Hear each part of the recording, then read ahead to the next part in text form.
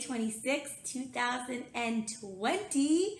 I hope all of you had an amazing long weekend. I know I definitely needed that, so I hope you you enjoyed it too.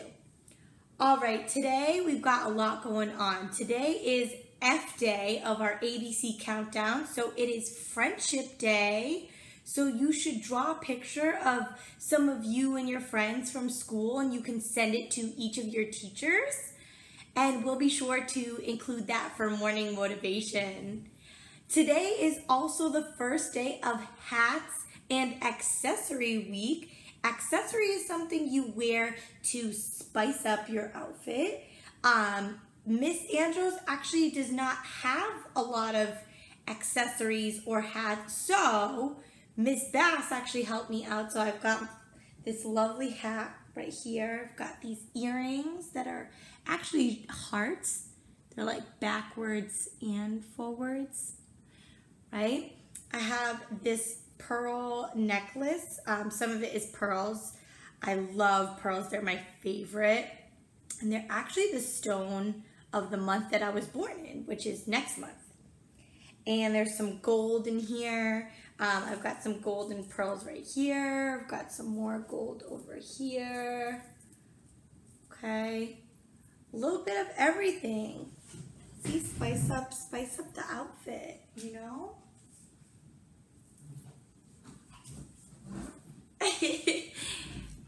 All right. If you're not ready, go ahead and grab your things, get ready, and then come back and join me. Alrighty, loves. So before the long weekend, we were working on our plan and our brainstorm for our bio poems. So you either chose to do a brainstorm for a character you know or read about or about yourself. So you're going to need that for your lesson today. It looks like this. Okay, you're gonna bring your brainstorm and your plan. And then you're also going to need your pencil. Okay? And you're also going to need a paper, either a blank one or one with lines, and you're either gonna set it up like this. I'm gonna hold it here. You can pause the video so you can copy what I have written down. Or you'll have the printout uh, from the Google Drive, and I'll include a picture of that on the screen so you can see that as well. So you're only going to need those three things for today. Go ahead and grab all of your materials. It's shout out time. It's shout out time. It's shout out time. All right. I have shout outs for lots of friends today for actually lots of different reasons. So these friends took their time to write more than one adjective that described their person more than one activity that they enjoy doing, more than one thing that they feel, that they wonder, that they fear, that they care about, that they're able to do, and that they dream of. It was really cool to see you guys push yourselves uh, to look inside yourself about the things that you uh, think and feel. That's going to make your poems today that much cooler to read. And your teachers and your peers are going to learn so much more about you or your character. All right, really nice work to those friends. So shout out to Jeremiah, Victoria, Carlos, Fabian, Gabriel, Nyla, Abdi, Sterling, Nisa, Adriel, Keisha, Joshua, and Divine. Really nice job to those scholars. Keep up the great work.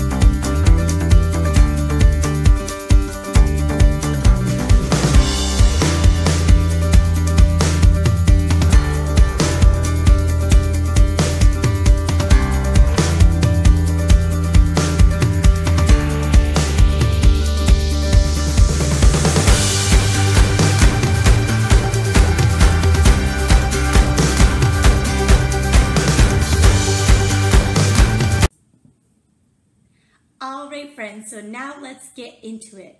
We learned last week that a bio poem is a poem that describes a person and it is 10 lines long and you can write one about yourself or someone else, but it's still 10 lines and it still describes that person. So go ahead and grab your brainstorm, grab your pencil, and we are going to transfer the information. That means we are going to move information from here onto our actual bio poem. All right, we're gonna go line for line. So go ahead and have them side by side and we'll begin. Make sure before you begin that your paper is set up in a way that is nice, neat, and organized so your writing can follow the same exact pattern. All right, here we go. My bio poem. So where it says adjectives that describe the person, that's describing either you or the character you chose. We're not going to get into that first. The first line, you're putting just your first name.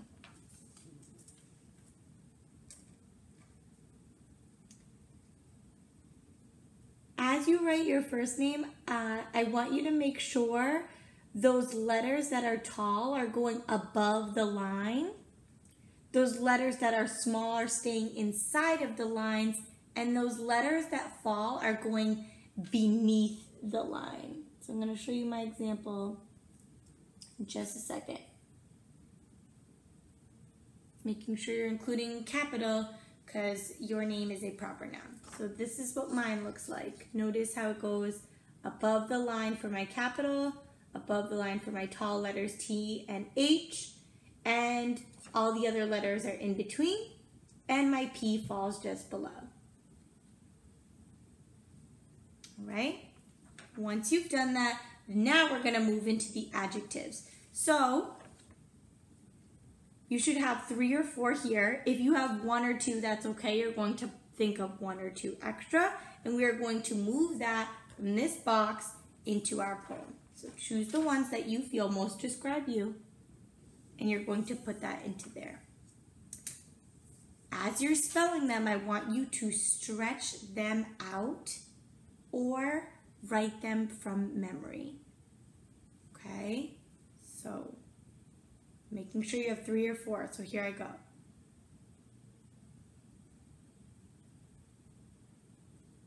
Once you've got it, write those down word by word.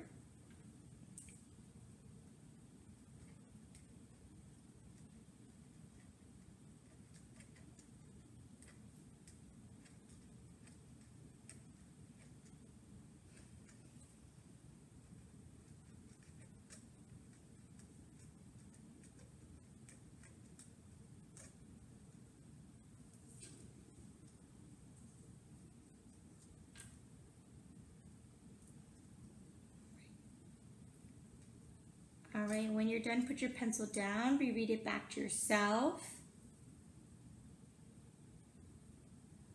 Okay. Make sure that you're writing on the line only, okay? So notice how all four of my adjectives are on that one line. I'm not going to the next one, so make sure you're giving yourself enough space. If you need to start your line over here, you can. Okay. The next line says important relationship, daughter of, son of.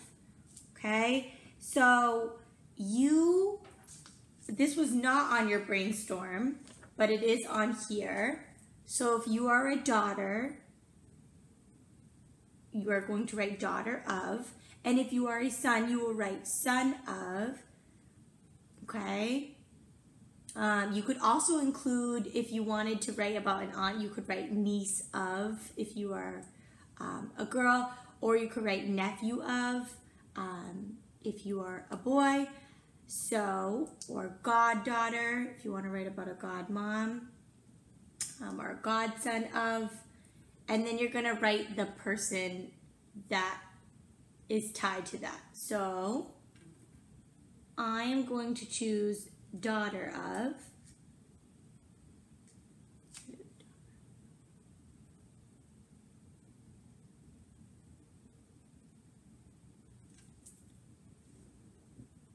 I have the whole line planned on my hands. Now I'm stretching out the spelling.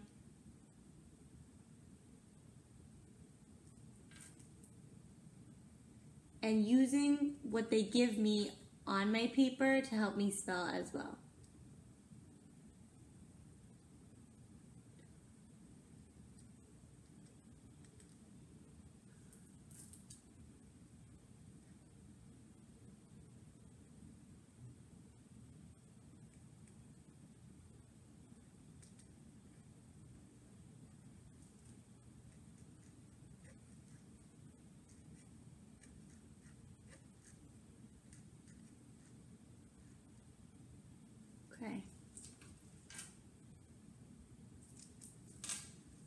Once you're done, put that down. Again, check your letters. Check your heart words. I'm going to show you mine. So these are my parents' names. This is my mom's name. This is my dad's name. So daughter of Teresa and Valdevere. Now, whichever relationship you choose, you would write their names. Okay. The next line is two to three things you love. Now, from your brainstorm, that was this box, what you enjoy. So I'm to check off that first box because I already did that. So where it says I enjoy, you're to choose two to three things if you wrote four. If you only wrote one, you're to push yourself to think of two more. And you're going to write them on that line. So I'm going to choose mine.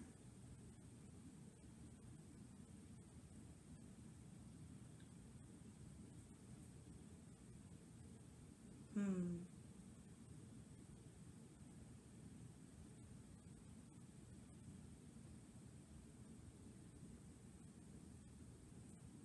Once you've got it, again, stretch it out, write it from memory, and you're writing it nice and neatly, keeping those letters in mind.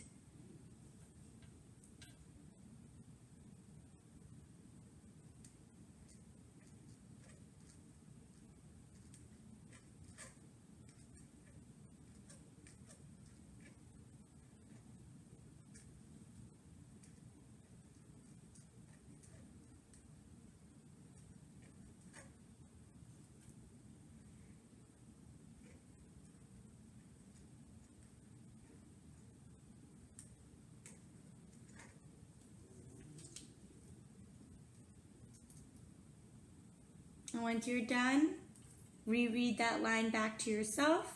Check for those letters and spelling and neatness. And you're gonna check off your second box of your brainstorm.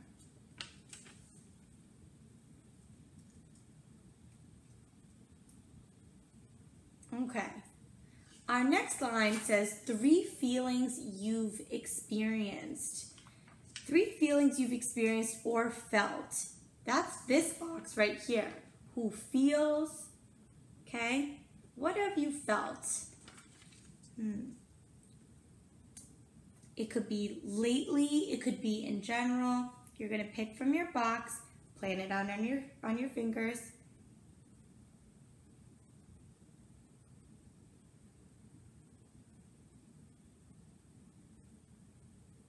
Once you've got your three, again,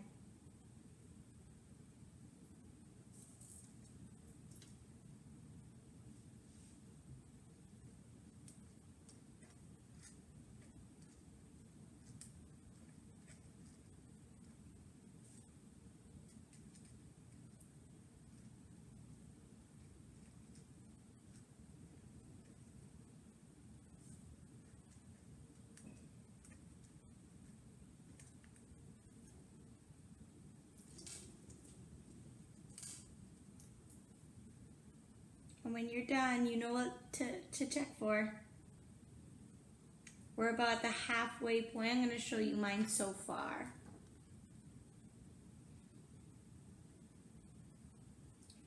And then you're going to check off that box as we move through our brainstorm. The reason we're checking it off is to make sure we're keeping track of our thoughts and organizing them.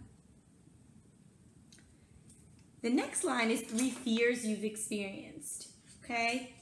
Again, this could be recently or this could be generally. You're going to go to this box, who fears, and you're going to choose three of those. Plan it out on your on your fingers.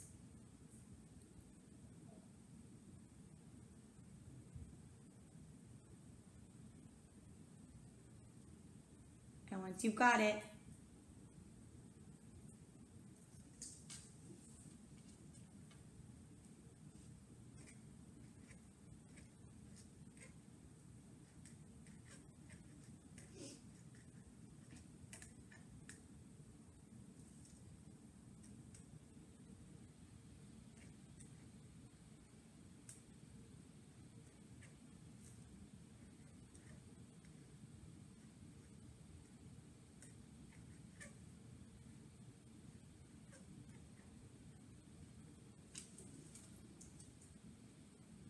And when you're done, you can check off that fourth box. Make sure you're giving yourself enough space as you write.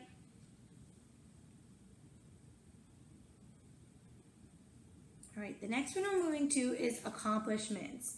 You are going to go to this box where it says who is able to. You're thinking of the things that you do. Each of those things that you are able to do is an accomplishment. All right? Now you could even think of a new one related to school if you want to. Right? Once you've got it, take out your fingers, build it.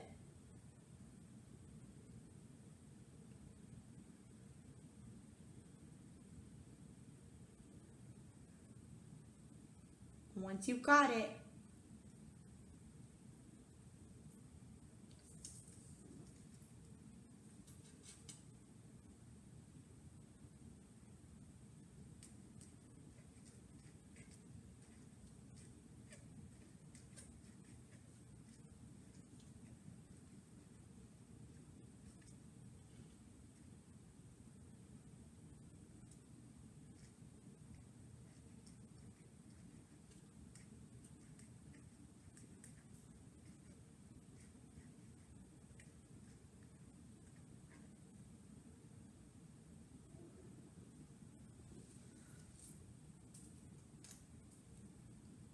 right, when you're done, put that pencil down. And you can check off that fifth box. All right. The next line is two to three things you want to see happen or experience. And that was that last box, um, who dreams or who wonders. All right or a combination of both. Okay? You're going to look at those two boxes and think which ones you want to include for this. And once you've got it, build it on your fingers.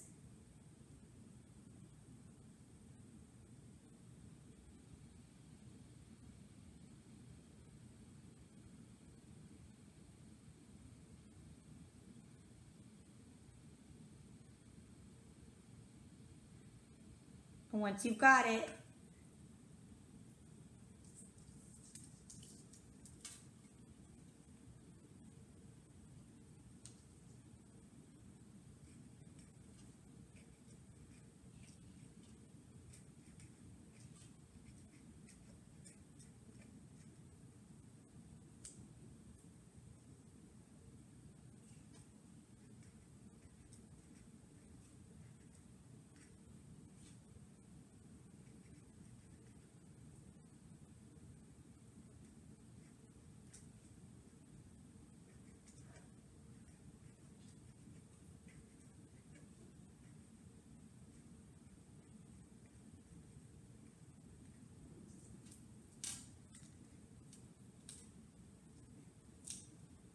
once you're done, you can check off those boxes that you included. I checked off both because I used both.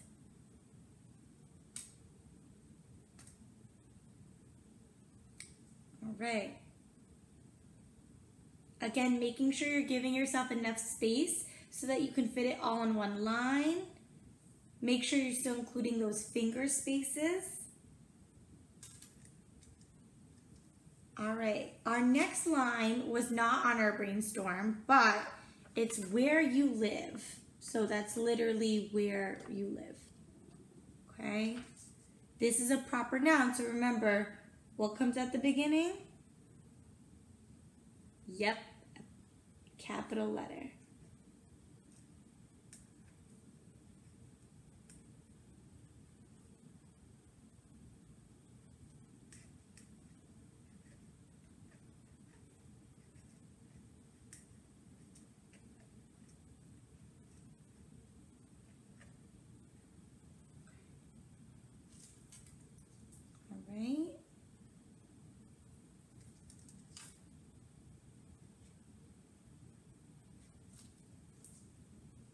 And our last one is our last name. So you're going to write your last name. Again, another proper noun. So you need that capital. Now I know some of you may be thinking, wait, we didn't do the box that says who cares about. The box of who cares about could also be in the section where it says two to three things you want to see happen or experience. Like I wrote world peace and justice. Those are things I want to see still happen. Um, but I chose other things to write in my bio poem. And when you're done, put your pencil down. You're going to reread each line to yourself, reread it from top to bottom, see if it makes sense, see if it flows with your brainstorm, see if it describes you and your character well, checking for those capitals, those finger spaces, those heart words. In this poem, you do not have to worry about punctuation. All right, so I'm gonna do that with mine.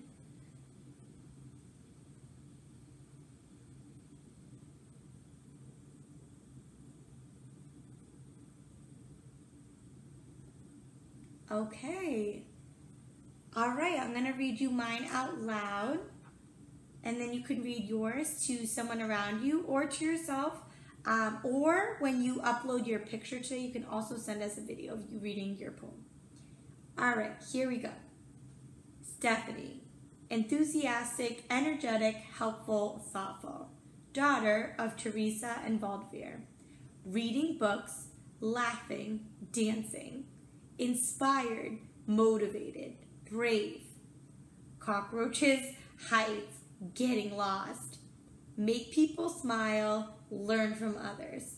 Travel the world, have a family, grow as a teacher. Roxbury, Massachusetts, Anjos. And that, my friends, is my bio poem. I'm going to hold that up. You can pause the video and look at it. Don't worry, I'll always include a picture after. And here is your brainstorm with it checked off as well. All right. All right, that is all for today, friends. Tomorrow is game day and hat day, so you can wear a hat when you're learning and play a game at morning motivation. And you can wear some more accessories that include sunglasses, jewelry, um, necklaces, costumes. I'll include the flyer in the video. Until tomorrow, everyone.